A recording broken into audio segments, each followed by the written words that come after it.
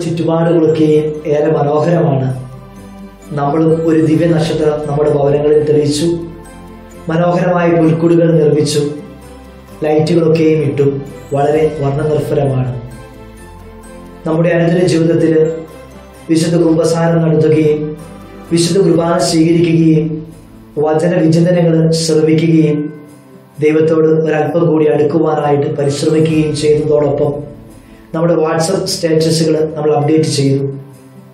ഇതെല്ലാം വളരെ ഭംഗിയായിട്ട് പോയി.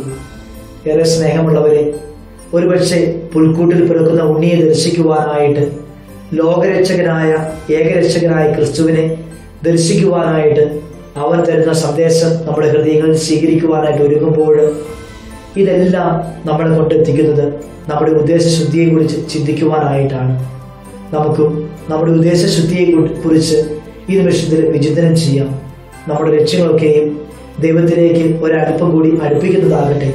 അതുപോലെ തന്നെ മനുഷ്യബന്ധങ്ങളെ കൂട്ടിച്ചേർക്കപ്പെടുന്നതാകട്ടെ. ദൈവം നമ്മെ അനുഗ്രഹിക്കട്ടെ.